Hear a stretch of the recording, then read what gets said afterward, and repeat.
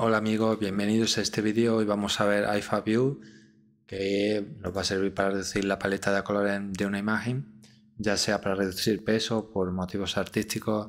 A ello ya no me meto. Bueno, vamos a ir a la página principal, el enlace lo dejaré en la descripción del vídeo y vamos a descargar.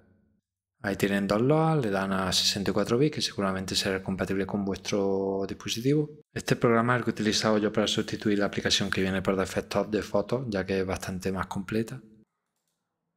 Pueden descargar directamente el ejecutable, es un archivo comprimido. Yo prefiero el ejecutable ya que así me ahorro unos pasos. Como casi todo Windows lo detecta como peligroso, le damos a descargar. Empieza la descarga, son 3,6 megas, muy poquito doble clic para instalar, le damos a que sí.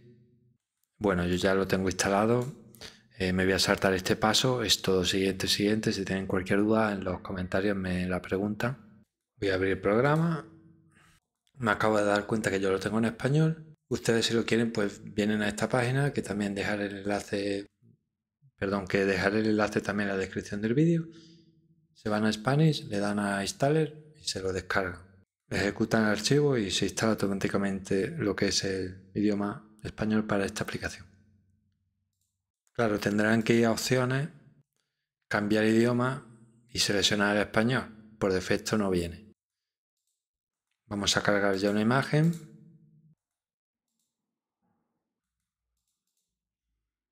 En la barra de herramientas se va a la sección de imagen. Ahí van a buscar disminuir intensidad del color o de color. Pueden elegir 256 colores, solo 16, en blanco y negro, que solo serían dos, o personalizado, que podemos introducir una cantidad de colores desde 2 hasta 256, inclusive. O escala de grises también.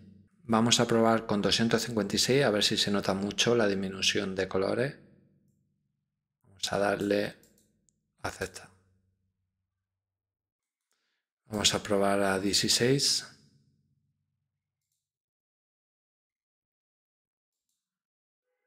Ahí sí que se hace ya bastante más evidente el cambio, ¿verdad? Vamos a poner 4. Esto ya va a ser un cambio radical. Le damos a aceptar. Ahí lo tiene.